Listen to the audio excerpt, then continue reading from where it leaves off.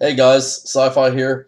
I'm releasing a new version of the Windows USB Updater program, so I wanted to do a quick video and explain some of the new features and show you how to update your board at home.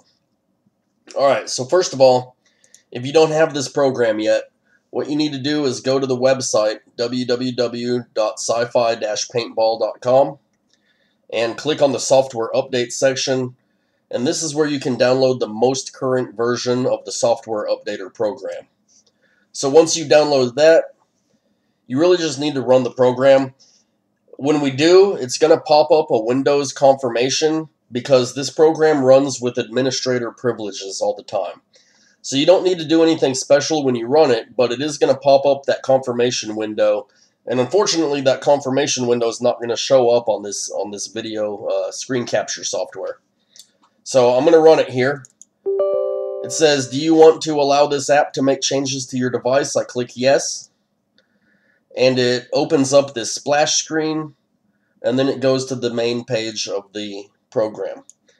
So during that splash screen, it's actually installing all of the drivers for the board. So you don't have to do anything special when it comes to installing software or hardware drivers. It does all that automatically uh, when it opens up. Okay, so let me switch off my screen right quick. And we can see the board, it's not plugged in yet. And we can't click on any of these buttons because right now it says board not found. But as soon as I plug in the board, we can see it boot up, and now it's showing board found on COM3.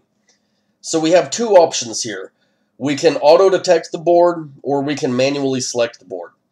You always want to try auto-detect first. The manual select is really only for if the auto detect fails. But let me show you what that screen looks like on manual select. We can select which board we have, and you need to be really careful doing this because if you install the wrong software on the board, it could actually damage the board. So make extra sure that you select the correct board. In this case, it's a Shoebox Shocker version 1 board. And I can click Update, and the red light means it's updating the board.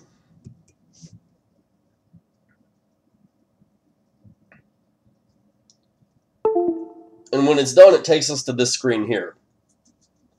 And I'm going to unplug the board real quick so that we can start back at the main screen. So like I said, you always want to do auto detect first. Manual manual board select is really a last resort. But normally when I plug in the board, I'm going to do the auto detect, the read board. And when I do that, it's going to automatically determine which board we have. And it did. It shows me that I've got a Shoebox Shocker version 1 board. It tells me that my board software is version 3.0, which is actually the most current software. And it tells us that our board software is up to date. Alright, so here on this, this screen, we have a few different options. Right here we're on our update board tab. And this will allow us to update the board. We can either update the board and reset to factory settings, or we can update board but retain custom settings. So if you have different firing modes and stuff programmed into your board, if you're if you're doing like 10.2 NXL, you can update your board and not change any of those settings and not not lose anything that you already have in there. Uh, so we can do either one of those. And then we also have this Edit Settings tab. And on the Edit Settings tab, we can select a setting and we can change it. And what you'll notice is that this window that pops up is exactly the same window that pops up on your Android or Apple app. So the interface is exactly the same as what you're used to. And you can change all of the settings just like you can from the app.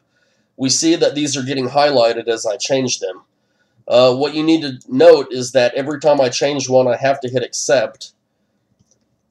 We can also change settings for different profiles, and we can't even do that on the app right now. So I can change settings for profile 2, I can change settings for profile 5.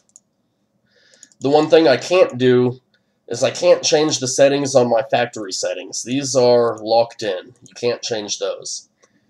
So when we're done changing settings, These aren't actually saved yet. We need to send them to the board. And there's this button here, Send All Settings to Board. When I click that, we see the, the light on the board starts going red again, and that means that we're writing to the board. And when it's done, it'll bring us back to the same screen we're already on. Says write success. Pay attention to the status window here because that's what's going to tell us if we have a success or a failure. And uh, hopefully you don't see any failures, but uh, it happens from time to time. So we can update, we can change the settings. That's pretty much all of the new features for the for the program. Oh, one last thing. When we update our board, you never have to go looking for the most current board software. It's always going to pull the current board software from my website. When you click on Update Board, it's going to download the most current board files, so you don't have to worry that you're not downloading the right ones. You just need to make sure that the right board is selected. And then we can update. I'm doing an update and reset to factory settings. It's stormy here if you guys can hear the thunder. Alright, so now we're back to our factory settings. Everything's back to normal. And that's about it, guys. I appreciate y'all watching the video. Hopefully this is informative and uh, answers some of your questions. And uh, yeah, thanks for watching.